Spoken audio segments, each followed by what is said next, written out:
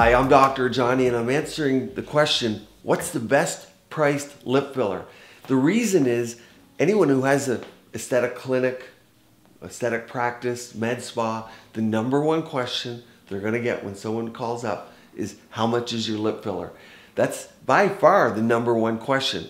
And I say the first questions to ask are the who, the what, and the where squared. Let's go through it. So the who, the number one question I would submit to ask is who's going to be doing my filler? So you, what you want to know is, is it someone that has a medical license that is a medical practitioner? Have they been doing it before? Um, are they well versed in lip filler? Are they going to take some pictures? Are they going to be around in a few years? There's many, many questions about that. And clinics are only too happy to answer that. So that's the who. Now on to the what. You want to know what's being put in the lip. You get one face, you have two lips, but you want them both. And if you get something that you don't want in there, something permanent, what are they? Like silicone, like maybe PMMA, PLLA, or non-permanent but would be calcium. Some people do use them. They're fraught with some problems. Some people choose to get those and that's okay, it's a choice. The majority by far want something dissolvable and a little bit safer and especially if people are younger, they're gonna age and their face is gonna change. Know what you're getting. And it's not necessarily, you don't need to know which hyaluronic acid because your practitioner will have their favorites and their reasons. And then if you've had lip filler before, you already know which ones you like and which ones are your favorites. Certainly ask for them or there might be new ones out. There's new products coming all the time. Really important to know what you're getting. And we did a whole video on fake product and, and getting real product from the United States and, and what's involved with imported product. And all those things go into pricing. And of course, that first question that everyone asks, how much does it cost? If it seems too low, too good to be true, it might well be. So you want to know what's being used. And for most people, a dissolvable product ends up being the best.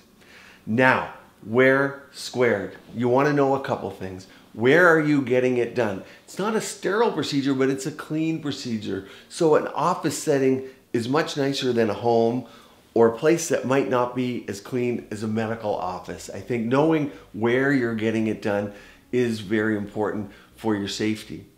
The next part of where, which not a lot of people think of, is where is it going to be injected? And that really, for most people, is what creates the look. If we take all those other factors, we've done our homework, work those out, where is it injected? What plane? Superficial, deep, cupid's bow, widening, chin projection, creating a vermilion border but not a forward projection that looks unnatural. So really it's where you put the product determines what the look is and what the end result is. So those are the questions that you really want to ask and then finally price.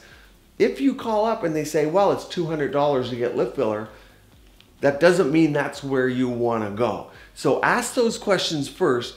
Price will come afterwards. And the reality is many legitimate clinics in this country, when you pay a little higher price, they have the service and the value to go with it. And the value is what's important. It's that follow up, it's making sure you get a great look, and it's following you over time for that progression of lip filler that not looks good not only today and the next day, but for your entire life in the course of your journey through aesthetics.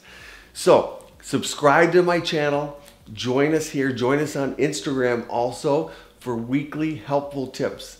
Keep your skin and body beautiful, healthy, and vibrant.